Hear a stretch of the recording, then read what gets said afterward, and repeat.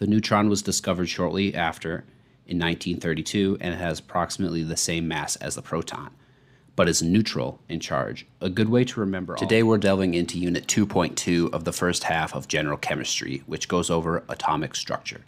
In the last unit, 2.1, we discussed John Dalton and, and his four rules for atomic theory. These rules were based on the tests and observations he made in his laboratory. However, he never published any proof that these atoms actually existed. As time went on, scientists got more advanced, and this atom started to become more visible, complex, and it became clear that there were subatomic particles. The first subatomic particle that was discovered was the electron by J.J. Thomson in 1897. Electrons are negatively charged subatomic particles that are common to all ele- elements and are almost 1 2000th of the mass of the other subatomic particles. They are also the particles that are responsible for electricity. The subatomic particle proton was discovered next in 1919 and was the positively charged counterpart to the electron, but contains approximately 2,000 times the mass.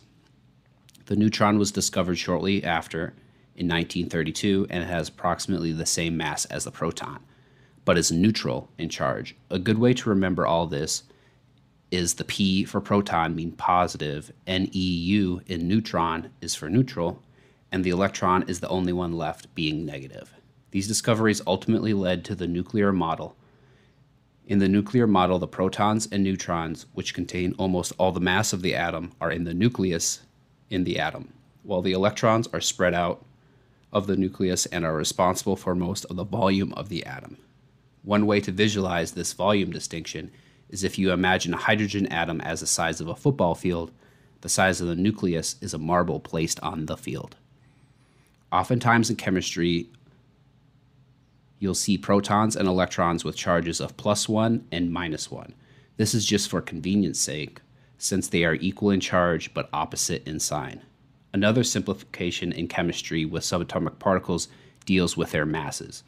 Because the masses are extremely small, we created the atomic mass unit, AMU, where 1 AMU equals 1.66054 times 10 to the negative 24th grams.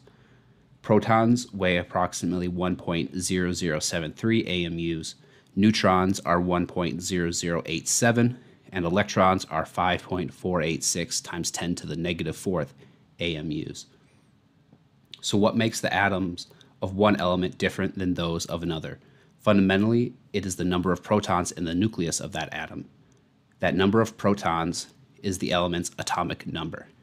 Since atoms don't have a net positive or negative charge, there is the same number of electrons as protons. However, the number of neutrons of an element can vary. For example, with carbon, there are six protons and in most cases, six neutrons.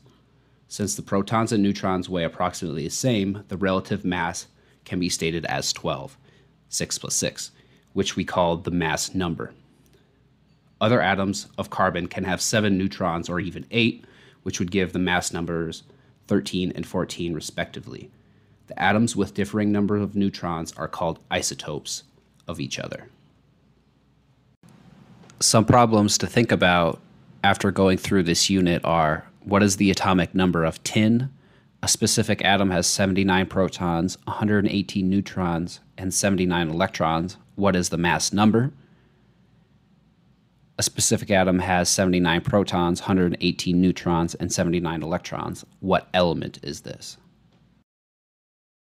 Thank you so much for spending your valuable time learning and bettering yourself. If you like the video and want to learn more, donate, or get tutoring, please check out my website, nocollegeneeded.org. You can use the code NCN for 20% off tutoring and any supplemental materials. If the subject isn't up yet, please be patient. I'm working on bringing them up as soon as I can.